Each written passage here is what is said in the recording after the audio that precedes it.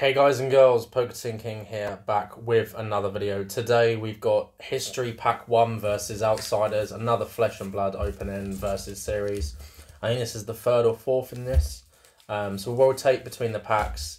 We've got the most recent set, set uh, release for Flesh and Blood, and then we've got the reprint set. So we'll start with History Pack 1. It's always fun to open History Packs it's quite hard to find actually now. Um, my LGS has some in stock. I don't know how much they have left, but I know bar that, all they have is Tales of Aria Unlimited, um, bar Outsiders, of course. So we always try to go for a little bit of History Pack 1 if we can pull something big like a Tunic. And we've got a Righteous Cleansing as our Majestic. So we'll keep these. I like the white borders. They're different. Um, we'll keep this here. And we'll have the totals above each side, the left and right, and we can see who wins.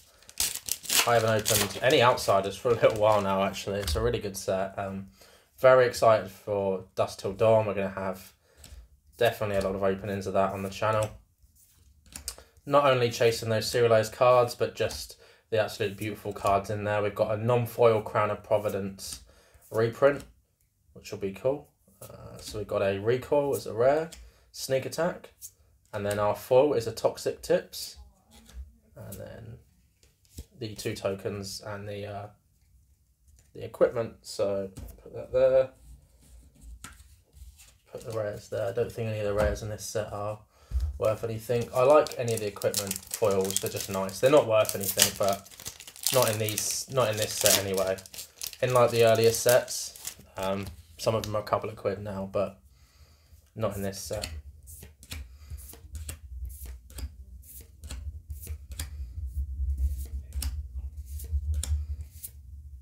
And nothing, unfortunately, in that one. So I guess History Pack 1 is winning uh, so far. But we will have Dusk Till Dawn on the channel for sure. Um, I have been selling some on my website and I've all sold out now. Surging Strike, I've got an alpha pink foil of that. Very nice. Uh, one of the traps. So we've got Boulder Trap as a rare. Um, oh, we only had one rare. Uh, Plunge as our foil and then oh of course because it's one or two. You don't guarantee two rares. Uh, so plungers are foil. Very nice. Course history pack you don't get foils. Um, there's not too much value to history pack. Um, obviously any legendary is a nice pull. I think scab skins and Braveforge braces are probably the cheapest ones at about 35 40 pound. Um, Scar for Scar. Ooh, Bloodsheath Skeleta. It's a nice one. It is banned, but it's a nice card. Um, I think the foil was about £12, so increased war. So the non-foil white one is probably worth about a pound. Um, but if it ever gets unbanned... So far, Outsiders has been unkind to us. Hopefully we can get a Majestic in this pack. Uh, we've got Wither, Infecting Shot, Blood Rot Trap, Death Touch as a rare, uh, Fletch a Blue Tail, Infect as a foil. Unfortunately not. Um, I have the uh, promos of that Death Touch.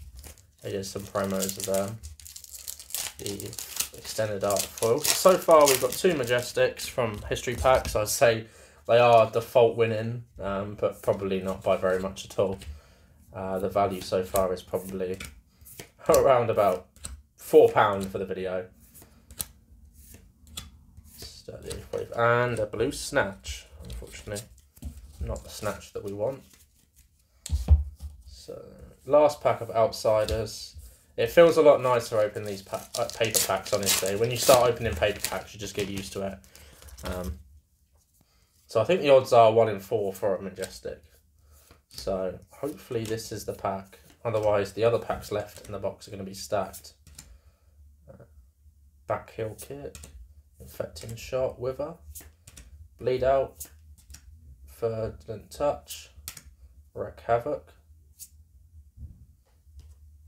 Oh yeah, because that's and foil. Unfortunately, nothing. So uh, yeah, that is the pulls from Outsiders. Very harsh. We've got two Majestics from History Pack. So I would say that uh, unless any of the rares from Outsiders are worth anything, which last time I checked they weren't, uh, I would say History Pack 1 wins.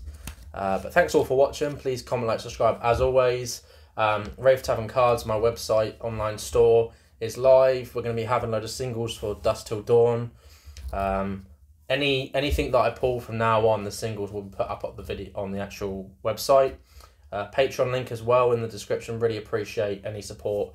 Um, I've got five patrons at the moment. I will be doing exclusive content. At the moment, I do market videos, uh, market posts even. Sorry.